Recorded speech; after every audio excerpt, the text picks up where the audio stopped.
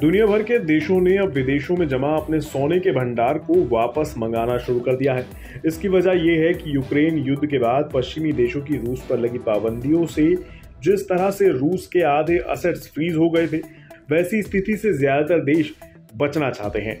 दरअसल, रूस के 640 अरब डॉलर के गोल्ड और फॉरेक्स रिज़र्व में से आधे को पाबंदियों के बाद फ्रीज कर दिया गया था। ये दावा इन्वेस्को के एक सर्वे में सामने आया है। ये सर्विस सेंट्रल बैंक्स और सॉवरेन वेल्थ फंड्स के बीच कराया गया था। पिछले साल फाइनेंशियल मार्केट में भारी गिरावट से सॉवरेन मनी मैनेजर्स को भारी नुकसान हुआ था। उनका कहना है कि महँगाई और भू राजनीतिक टेंशन के जल्द खत्म होने के आसार नहीं है।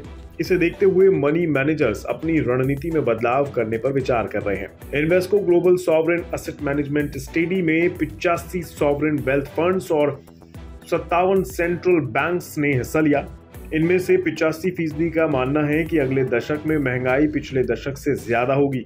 ऐसे हालात में गोल्ड और उभरते बाजारों के बॉन्ड्स में निवेश को फ़ायदेमंद माना जाता है। लेकिन रूस के आधे असेट्स फ्रीज होने के बाद अड़सठ percent central bank gold reserve को अपने देश में ही रख रहे हैं, जबकि 2020 में ऐसा करने वालों की तादाद 50 परसेंट थी। जियोपॉलिटिकल वजहों के साथ साथ उभरते बाजारों में मिल रहे मौकों ने कुछ सेंट्रल बैंक्स को डॉलर के अलावा भी अपने निवेश को डाइवर्सिफाई करने के लिए प्रेरित किया है। सर्वे में शामिल सात परसेंट एजेंसियों ने कहा है कि अमेरिका का बढ़ता कर्ज डॉलर के लिए नेगेटिव संकेत है। हालाँकि ज़्यादातर का अभी भी ये मानना है कि रिज़र्व करेंसी के तौर पर इसका कोई विकल्प नहीं है। केवल 18 परसेंट मानते हैं कि चीन की करेंसी युआन डॉलर को टक्कर दे सकती है।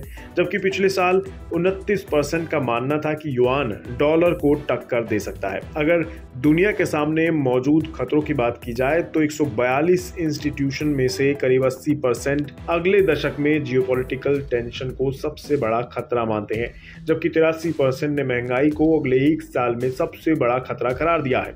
चीन को लेकर दुनिया भर के देशों में चिंता है, जिसके चलते लगातार दूसरे साल भारत इन्वेस्टमेंट के लिए सबसे आकर्षक देश बना हुआ है। चीन के साथ ही ब्रिटेन और इटली का भी आकर्षण घट गया है। वहीं निवेश के लिहाज से इंफ्रास्ट्रक्चर को सबसे आकर्षक असेट्स क्लास माना गया है। रिन्यूएबल एनर्जी जनरेशन से जुड़े प्रोडक्ट्स की सबसे ज़्यादा डिमांड है।